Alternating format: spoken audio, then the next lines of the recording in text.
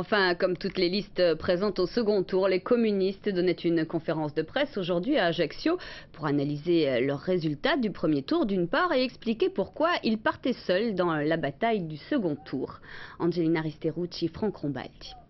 Dominique Bouquin et ses colistiers ont tout d'abord disséqué le score engrangé par la gauche populaire pour une Corse citoyenne. En flirtant avec la barre des 6,8%, Paul-Antoine Lucien a souligné que les électeurs ont sanctionné la politique du gouvernement Raffarin. Puis le numéro 5 de la liste a abordé le deuxième tour et une gauche qui part en ordre dispersé. Nous n'avons été contactés ni au premier ni au second tour.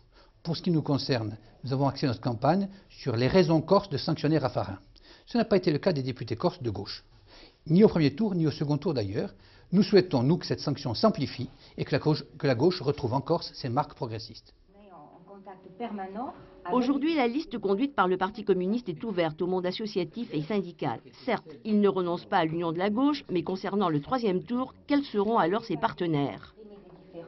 Bon, mais moi, le, troisième tour et, le rassemblement au troisième Nous tour... Nous serons sur notre lancée puisque notre position initiale a été de vouloir rassembler et de vouloir ouvrir notre liste à des intervenants divers qui ont une préoccupation commune, essentielle, qui est le projet social. Ce projet social, nous le mettrons en œuvre avec une équipe élargie que nous situerons entre deux balises très claires, d'une part la clandestinité et la violence, d'autre part le libéralisme. À partir de ce moment-là, nous pourrons travailler ensemble dans un espace qu'il nous appartiendra à définir. L'idée maîtresse de la liste conduite par Dominique Bouquin étant en effet de faire entrer avec force la question sociale à l'Assemblée de Corse. Nous avons eu quatre voix. Hier, c'est retourné vers